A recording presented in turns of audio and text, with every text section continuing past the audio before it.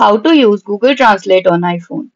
Welcome to our guide on how to use Google Translate on your iPhone. Google Translate is a powerful and versatile tool that can help you break down language barriers. Whether you are traveling, communicating with people from different cultures, or learning a new language. With the Google Translate app on your iPhone, you have a world of languages at your fingertips. In this tutorial, we will explore the steps to use Google Translate on your iPhone. You will learn how to translate text, speech, and even images in real time, making communication and understanding language easier than ever.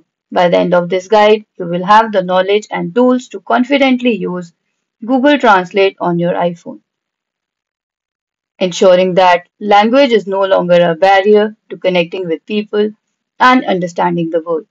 So let's get started and explore how to master the art of language translation on your iPhone using Google Translate. Now first open App Store. In App Store you will get this app Google Translate. From here you can download this app Google Translate. Then open the app now from right hand side above, you can log in into your account. After you get logged in, what you can do is, down there you will get the option of languages. Right now it is from English to French. So if I click on English, from here I can choose any other language like if I want to choose Hindi, suppose. I will click on Hindi. I want Hindi to English. So I will click on the other language and choose English from here. In the middle, you can see two arrows. If you click on these arrows, it will swap. Now, like Hindi to English, you can even change from English to Hindi. Now, if I want French. So now it's English to French. Now I want to enter the text. How are you?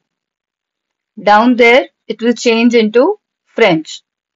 Like this. Go back and down there you will get the option of mic. If I click on mic, hello, how are you?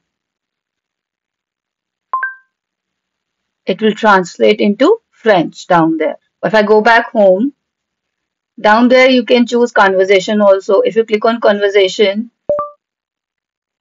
it will change into the other language. Cela se transformera en. Like this. So whatever you say, it will change into other language and speak.